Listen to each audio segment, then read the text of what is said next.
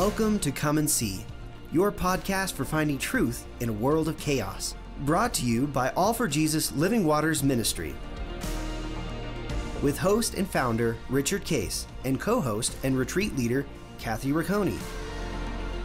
Jesus reminds us to watch for the signs of his return. Today, we will explore further what we are seeing in our times that line up with what signs he said would indicate the potential of the end and his return. We will also discuss the practical meaning of this as we watch and as a remnant prepare as he so leads. And now, your host, Richard Case.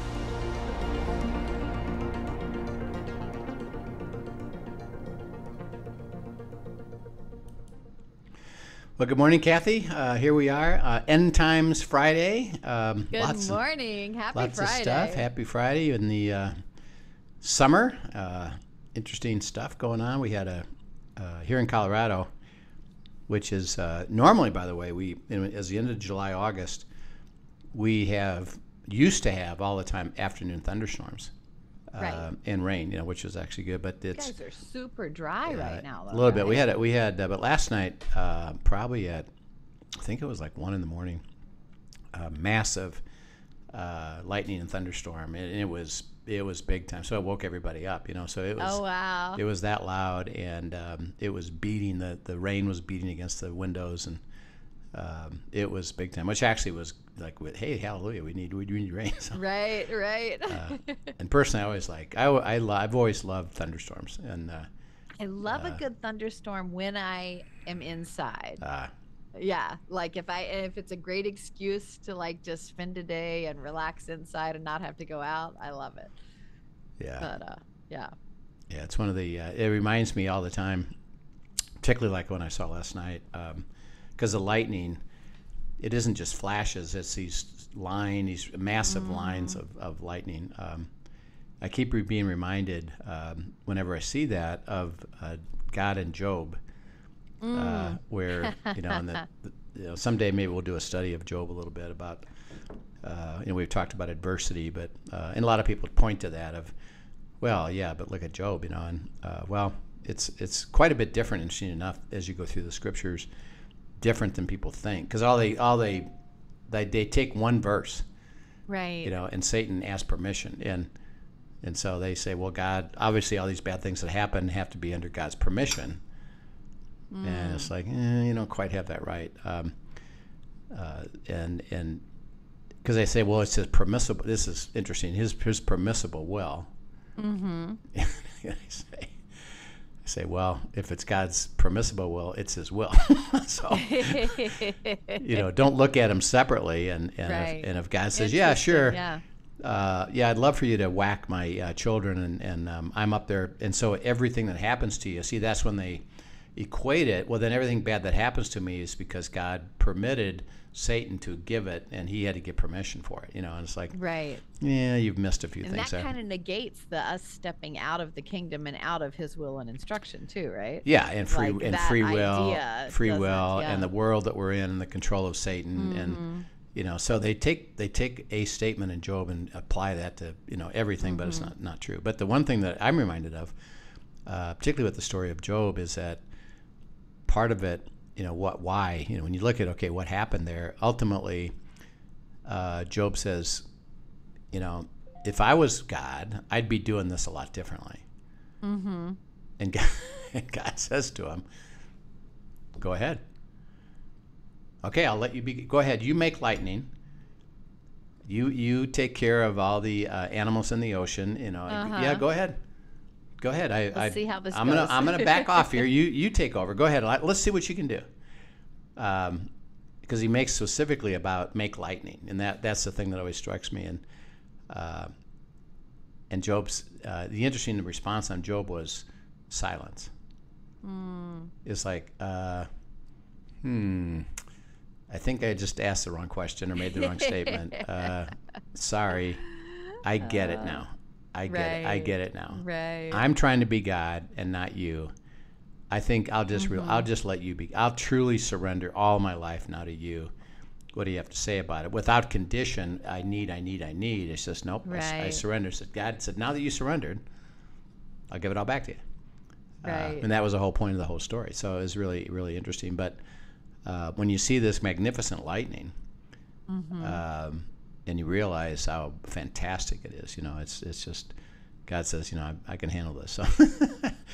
Um, That's awesome. As we're talking about the end, a um, couple of interesting things have been going on. Mm-hmm. Um, uh, one is that um, uh, I think we talked a little bit about this, but uh, it was predicted that Russia was going to shut off the pipeline into Europe, right. um, and they did. right. uh, and they is called it. it- they Is call- it completely? It's it's shut to like twenty. Well, what they did is they first of all they they shut it they shut it completely off Okay. uh, and said it was maintenance. right. Um, okay, Which maintenance. no one seems to believe. no, and then maintenance supposedly was finished, and so they turned it back on. Right. but they only turned it on. They started at 40%. percent Mm-hmm. And they decided, well, we have mechanical problems and we're going to go down to 20%. So Okay. Europe, yeah. Twenty partic- percent was the number I had particularly heard, Germany, yeah. et cetera, is only getting 20% of their fuel that they need, and they don't have Mm-hmm. Right. stock stockpiles of it. So, so and there's real concern for the winter big coming time, up, big time. Like yeah. literally, you know, people could freeze and, and, and Right. you know just not be able to function, and what's going to do to their economy. So, Russia's playing that card. Um, remember that um, Russia supplanted Saudi Arabia as the primary gas and oil supplier to China, Mm-hmm. and now it's Russia. Um, Right. And they've they uh, what they did is they you know set up a system so Russia now is supplying to China, which obviously they have plenty of demand, uh, and um, uh, they've skipped paying in dollars, what they call petrodollars, right. and they're paying And they're directly paying in the rubles, in ruble, right? uh, et cetera. So they've changed the economics of that. Um, along with that, and this has just just happened a, week or so ago, is that uh, Turkey uh, and Iran and Russia and and Putin, you know, he's in the middle of this war. war. He Mm-hmm. he goes to uh, Turkey and Iran, and the three of them meet, Hmm. and they set up a new alliance. Uh, is you know we are gonna we are going to have Russia supply us with stuff, and then we'll supply them you know with with the certain things, um, and uh, Persia or Syria uh, has joined that. Um so Wow. uh, as you look at uh, the potential of the uh, impact on the end, is that Gog and Magog, uh, you know, China, Russia, uh, and the and the uh, elements of the Middle East start to form together. Ultimately, remember that what do they do? They come against Israel, right. uh, and so uh, looks like uh, Russia, China, uh, Iran, Turkey, and then Syria are lining up, and these people, uh, you know, and then Iraq is is part of the, will be part of it. Uh, and uh, one thing to understand is that um, Turkey, Iran, Syria, um, those are called Shiite Muslim nations. mm-hmm. Um, Saudi Arabia, Egypt, Jordan, those are Sunni. Right. And which one? I I know you've said it before. One of those is more tolerable than the other. Is Yeah. the best way to put it, I guess. Well, the the Sunnis um, are more westernized and Okay. really are. Yes, we're Muslim, but but we we are basically uh, willing to be part of the world system, particularly the what we call the Western world system, and cooperate with Israel. Because the pure the pure Muslim um, at the at the basis, basically, and basically it would be based on Christians. You know, would look at well, we operate by the Bible. right. Well, the Muslims operate by the Quran. By the Quran, And right? the Quran, at the base of it, at the purest level of it, is Mm-hmm. everybody that isn't a full believer in our system Mm-hmm. is an infidel. right. And then everybody that's an infidel, we need to kill them. Right. And you get and the re- Shiite take that very the literally. Shiites and the take Sunni it, take do it, not. and the well, the? Sunnis. If you talk to them, it's like, well, yeah, uh, we know you're infidels, but uh, we're not going to take it to that extreme Right. of coming against you. Matter of fact, it'd be better for us to cooperate with you. Um, so Okay. that's why in Israel, uh, they literally have treaties now Mm-hmm. with with Sunni Arab nations. Right. Uh, and they've established uh, a system. And the one advantage of it is because, and this is this is really because of the nature of. Actually, we were just talking about the nature of Satan. Is that um, Satan is kill, steal, and destroy. Mm-hmm. Well, the Muslim sects, sects, S E C T S, Mm-hmm. uh, fight each other. Uh, and that if you don't believe the way I believe, I actually consider you an infidel. Right. Even though you're Muslim, I still consider you an infidel because you don't believe the purest level of it. And so uh, the Shiites come against the Sunnis mm-hmm. and against the uh, uh, Kurds, etc. And so um, they are purposely uh, doing that. Well, Israel, be, and, and Israel just comes against anybody that is opposing them, Mm-hmm. and particularly anybody that can develop a nuclear weapon or missiles Right. that are going to come against them. And so Israel, they've done two things, you know. And again, this is the favor of God, really. Uh, first of all, they pr- they've had uh, what's developed is called the protective dome, Mm-hmm. uh, and that's just a ability that um, if short-term missiles, and usually, like for example, the Hezbollah and, and Hamas, uh, they're in southern, uh, you know, n- northern Egypt, uh, southern Israel, uh, Lebanon, uh, northern Israel. Um, they fire missiles Right. into the into the into the country, um, and they do it a lot. Uh, they do it quite often. And Israel developed this iron, what's called an iron dome, where and it's literally because uh, I got to actually see a little bit of it. Is um, I know you've you've seen it with your children. Is you know they play video games Right. Right. and they can shoot stuff down, you know, on the video game. Mm-hmm. Well, that's really how they developed it. Is uh, they have a system that that knows that it's in the air. Mm-hmm.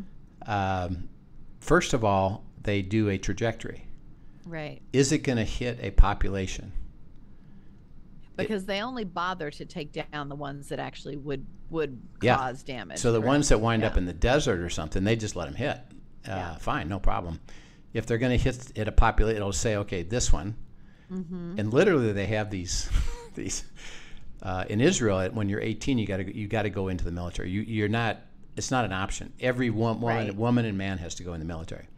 So they have these 18, 19, 20, 21 year olds sitting man good at video games. and now. they're good at video games and they're and they're man manning these in a sense joystick right, stuff Right. and they see it and they they shoot it and they're 99% accurate Mm-hmm. uh, to you know so it's an iron dome so it doesn't really get it well that works for um, short-term missiles but not long-term missiles Mm-hmm. uh, so the big deal is you know uh, nuclear weapons long-term missiles well israel because of their um, intelligence system and their military they attack supply depots Mm-hmm. and try to take out things that, that prevent them from being able to have these missiles uh, and arms and then uh, nuclear stuff. Uh, and they're and they're always evaluating everything all, all the time with Iran, Turkey, Syria, anything that's Shiite that they that they know are coming against them because they want to kill them. Um so the Sunnis, they don't want to be the ones attacking the Shiites Mm-hmm. but they do like Israel attacking the Shiites because it, pre- it it prevents it prevents the uh, ability for them to wind up with nuclear weapons. Which remember, the Shiites and the Sunnis are against each other too. Right. Right. Uh, so they're afraid of it, a little bit afraid of it. Hmm. But okay, so that's why they developed these treaties with That's Israel. That's interesting, right? Yeah, is uh, well, you go ahead and do it. We'll support you. Saudi Arabia does is the only country of the of the Sunnis that doesn't have an official treaty with Israel, but an informal treaty with Israel. It's like we'll support you. Yeah, go ahead and do And it. And now, what did you say? You said Saudi Arabia, though. Are they doing anything with Russia and China right now, or are they still No. staying? Because typically they have been very friendly to us and to Israel. yeah. Are, well, just and it, and it was it was uh, exacerbated by the fact that uh, Russia. Remember, uh, think of Saudi Arabia is a supplier to China of Right. oil and gas, and Okay, Russia. So that's made Russia that even worse because made it Russia worse. They actually in. made it worse is that well, we're gonna t- we're gonna Yeah. uh, instead of you being a supplier, we're gonna be a supplier. So they've lost a they've lost a big big customer. Now, are they able to pick up their production in a way to um, help make up the gaps for Europe, or is that is there not really a system in place for that yet? Well, um, yes and no. Um, think of Saudi Arabia and the Middle East, Mm-hmm. um, and, and and we you know we kind of uh, understand this. They're primarily oil. Right.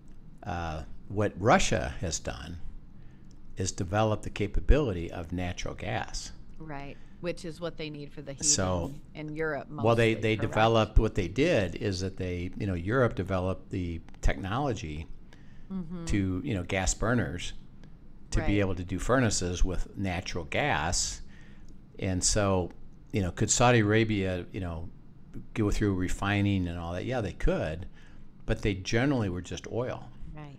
So no, they can't easily just Hmm. So say that's let's get not it. ready to. It's not know. a ready resource. Interesting enough. Hmm. you know, and and because of the current you know political environment, guess who would be the best supplier for natural gas? United Who's States. that? Really. We have it, um, Hmm. and but because of the political Mm-hmm. environment, they have diminished the capacity to be able to create natural gas. Uh, so we don't. We even have a trouble with us using it Right. let alone being able to, to send it over. Because, by the way, we don't have a pipeline to Europe, Right. so it'd be very expensive to tank it over. Uh, Wow. so Interesting. uh, it's all it's all, and that's why Russia, in a sense, was really clever. Is that they built dependence Mm-hmm. on them? Hey, we'll, we'll build a pipe. They built a pipeline, and uh, yeah, sure, we'll just charge it. That was good pricing. Um, and now all of a sudden, oh, you know what? I'm not going to give you any more gas. Uh oh, because they didn't develop backup. They didn't develop what do we do now, or even realize when the whole issue of the Ukraine war com- comes around. They took a position as well. We're going to come against you because the world says we should, Mm-hmm. and Ru- and Germany didn't say we should, but uh, we could be without gas. So maybe we should do something a little bit different. So this is the and again think of the uh, a little bit as things line up. It's man's wisdom that gets Mm-hmm. everybody in this pickle because nobody's seeking God in any of this. Right. Uh, right. So I'm not seeking, okay, what do we do? It's I'll do, I'll do, I'll do, and political stuff. And uh, that's why things that don't make any sense, like, for example, in the United States, um, we developed with Canada, it's called the Keystone Pipeline. right. Uh, uh, uh, Canada has a massive ability of, of reserves, and they were going to pipe it to us at a f- super favorable rate. Right. And and we don't, and we're not at war with Canada, so uh, and they don't want to kill us, you know. So we're in good shape there. Well, uh, the government, uh, it's there, and they will not turn it on. Even today, with all the prices of crazy gas, literally, if they turned it on, it would drop it immediately. Right. Well, you would think, well, then Now, is this partially because, or not even partially, primarily because that allows them to continue to push an environmental agenda that they're they're really wanting to um, switch our dependency and kind of the cut it off and then let's Yeah. be forced to start developing this. Well, uh, that's what's thought. That's what's thought because again, it's it's dealing with um, uh, inadequate information. Like for example, um, and that you know again, this is recent. There's there's people that are pushing the government, and they would actually like the president to do an executive order, which which you know goes against everything that, that we stand for, which is free market. Is um, make it so that gas can never go below five dollars a gallon. right. Um, and the reason is what you just said is well that'll push everybody to solar and to elect- electric. Um, and won't that be a good But idea? But we don't have infrastructure ready to support that Well, yet. it would. Interesting enough, it would crush us. One, Mm-hmm. and two, and two, and this is what is dumbfounding to me. People, you know, and they say, "I'm, I'm going to go to electricity." Mm-hmm. By the way, uh, people are starting to realize because of of the electricity cost, uh, they're starting to say, "Wait a second, I thought it was going to be cheaper, but it's not. Right. And I said, okay, where, where, where does electricity come from? Mm-hmm. You know, it's like, well, it's electricity. Okay, but what powers the electric? How do you get electricity? Right. Right. Guess what? Coal. Uh, Which is not as clean as not as We're clean hoping. and and and uh, uh, and now solar is truly extremely clean, as is wind. But then I also saw. Did you see? that article that had a picture of like a dump with all these, you know, 20 plus year old solar panels now yeah. that have run their course and they're no longer efficient. And then there's no way to dispose of them. So there's this whole other environmental impact even from having the solar energy. So it's in, yeah, it's interesting to see the things, the problems we create. Yeah. Well, wind isn't even a, a factor because it's not. Um, you can't. You can't, Can't literally. It, it what's called. predictably It doesn't right? pencil that. You know, with even massive, massive wind farms, the amount of electricity that's created is minimal. Right. Solar's really good. But It's actually, solar is solar's really, really good, good. But Uh, now they're running into this new problem with Yeah. that. Well, it's just it's just the ability to uh, install it, you know, and they Mm-hmm. couldn't do it if they accelerate the transition to electric. Mm-hmm. The ability of people to pay for and put install solar can't keep up with that. Um, right. so uh, that infrastructure isn't isn't available yet. So um, it's all in this interesting place. But yes, there's a philosophy is well, let's actually we want prices of fuel to be high um, because of the environment. Won't that be a Right. good idea? Well, again, it's all about economics, so that um, you know because of people's experience right now with the cost of food and the cost of fuel that um, there's been, uh, for example, a big decrease in uh, uh, new orders of Netflix and tremendous uh, cancellations Right. of Netflix because they don't have the money to pay for it. Uh, AT&T just came out and said uh, we have a gigantic reserve set up, and they had they actually missed their earnings because of it because people are not paying their cell phone bills. Right. Uh, well, and it's interesting. Even like you watch, I read an article just on Walmart and expecting Target to follow suit and whatnot.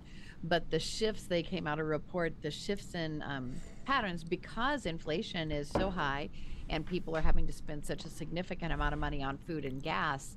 Um, suddenly, all these things that they stocked up on, there were so many, you know, quote unquote luxury items that were a lot of the spending for the last two years in COVID Right. um, that these, especially the Walmarts and the Targets, stocked up on as they could because of supply chain, and now they're going to be doing big markdown sales to get rid of them because people have shifted. They're still spending the same amount of money, is what I read.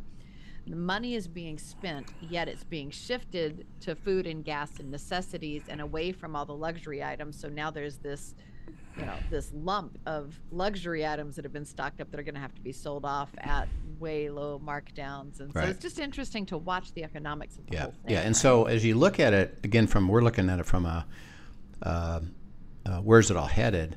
Mm-hmm. Is that um, think of all the things we've just described? Is um, it's building pressure.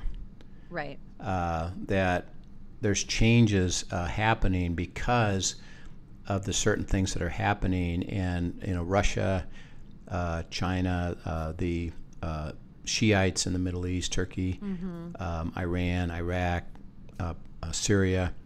Uh, they're lining up. Remember, it all lines up against Israel ultimately, um, and the alliances are forming up, and the pressure, the economic pressure, is that it has to move toward a uh, a collapse because we're gonna we're gonna talk here um, and do just a, a little bit here before we end this session in about the beast. But the beast, remember, is the system that is set up and is willingly embraced by the world. So that know, when we when we think of the beast, particularly the way Daniel described it, all the other ones, the first three, you know, which were uh, going to be Persia, um, uh, Greece, and Rome, they were all national uh, takeovers right, by force, by war, and, and threat of war. You know, we have the power, then and you don't, and you'd be better to, to surrender, which most of them did. Uh, but it was by force. And so then when he when he said the first three beasts, kind of a tribute to the the name beast. They were they came after us and devoured, you know. And Right. well, the fourth beast, he said, by the way, is different. We've talked about that. Um, The fourth beast is the same underneath it all. It's the same thing. What? Domination and one world government and trying to control everything uh, and manage everything. So he said it's a beast, but people don't, in a sense, don't see it as a beast. They willingly accept it.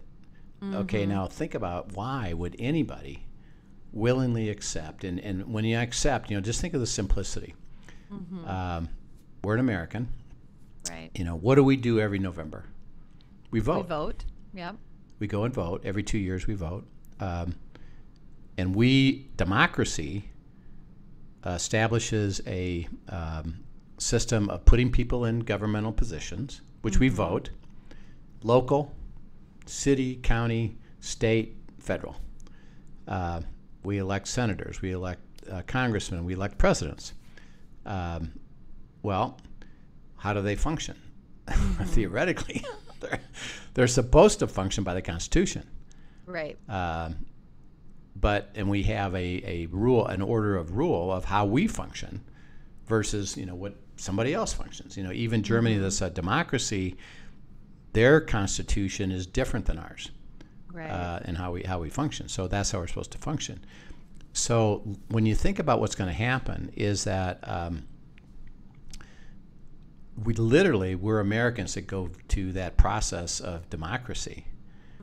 We Americans are going to willingly accept relinquishing all that and going to one world government, where now we're under a a in a sense a dictatorship right. that Which tell means we will see a problem that that offers a solution to, a Yeah. perceived solution. Yeah. to. So why would you think of anybody, uh, and this is going to be worldwide? Why would you willingly give up historically what you've always experienced Right. and say I'm I'm willing to do that? Well, because then I'm because I'm suffering, Right. um, and it's awful and it's terrible, and we can't get out of this. And by the way, and this is part, I believe, part of what's going on now is a diminishing of the um, belief and confidence in the ruling government that I that I'm part of. Uh, is that well, they can't get anything done, right. and now it's really bad, and they're not, they can't get anything done. And hey, this comes along and says, hey, you give up your sovereignty, and we'll give you these beautiful things, and we can do it. Everybody says, sure. And it's kind of a, you know, hey, you got nothing to lose mentality at yeah, that point. yeah. And by the way, there's a mo- there's a underneath it all is a, a thought of um, globalism. What's called globalism. Mm-hmm. Uh, that is being taught in universities. It's being taught, you know, throughout the world in terms of, of uh, speaking, speaking, That is speaking. that- laying groundwork yeah. for this. so that if you if you if you Yeah. talk to a uh, you know what they call millennial, um, what do you think about globalism? Mm-hmm. Their comment is, like, sounds good to me. Um, Right. it sounds better than what we have. Um, And so they're already thinking maybe it's better. They don't. They're not ready Right. to embrace it yet, but maybe it's better.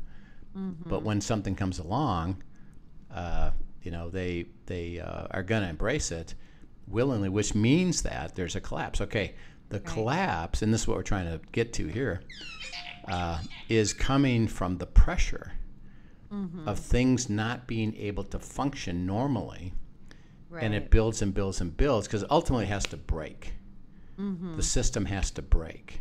I mean, really break, so that yeah, okay, I choose today instead of buying those luxury goods at Walmart. Well, I'm going to buy mm-hmm. food and gas, but I can still function. right. There'll be a moment when you literally can't function, um, and then it's like, oh, the system broke.